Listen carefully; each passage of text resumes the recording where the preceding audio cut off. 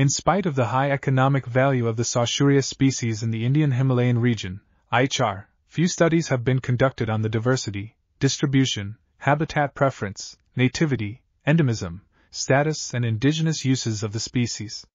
A total of 62 species were recorded from the IHR, with 37 being native to the region, 8 being endemic, and 21 being near endemic.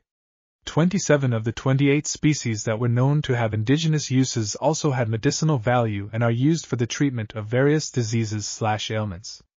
Many species such as S.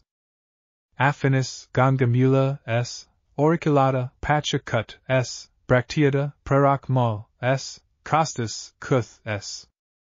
gossipiphora, Kasturi Kamal, and S. obvallata, Brahm Kamal, have multiple uses. The genus showed high habitat specificity in that 16 species were recorded to be restricted to one or two habitats only. As many as 44 species were identified as rare in the study.